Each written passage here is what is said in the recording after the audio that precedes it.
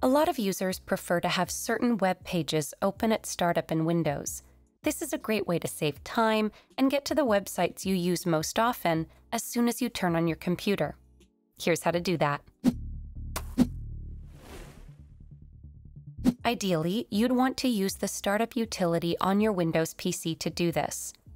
The first thing you need to do is open up any web browser on your PC and navigate to the website you wish to launch upon boot.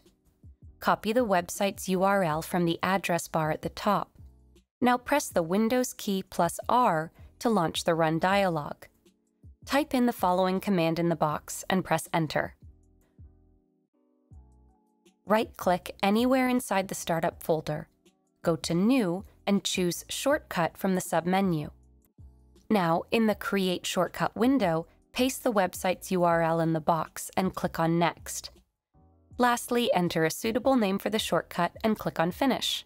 And that's it. Windows will automatically load up the website at startup.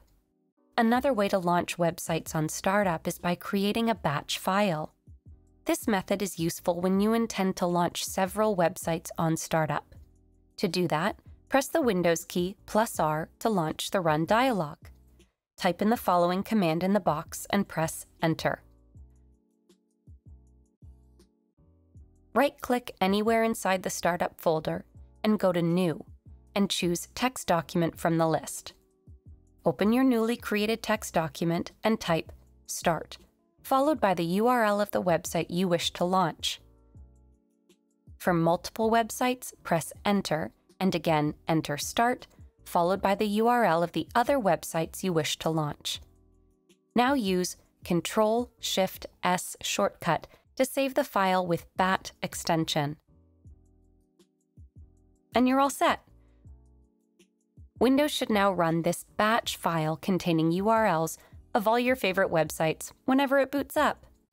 Lastly, you can also make use of Task Scheduler to launch websites on startup as well. To do that, open up any web browser on your PC and navigate to the website you wish to launch at startup click on the lock icon to the left of its URL in the address bar and drag it on the desktop. Now open the Start menu, type in Task Scheduler and press Enter. Now in the Actions pane on your right, click on the Create Basic Task option. In the Create Basic Task wizard, enter a suitable name for the task. Optionally, you can also write a brief description of the task. Then click on Next. Under Trigger, since we want to launch the website at startup, select the When the Computer Starts option from the list and click on Next. In the Action tab, select a Start Program, then hit Next. Now, under Program Script, browse the website shortcut created earlier.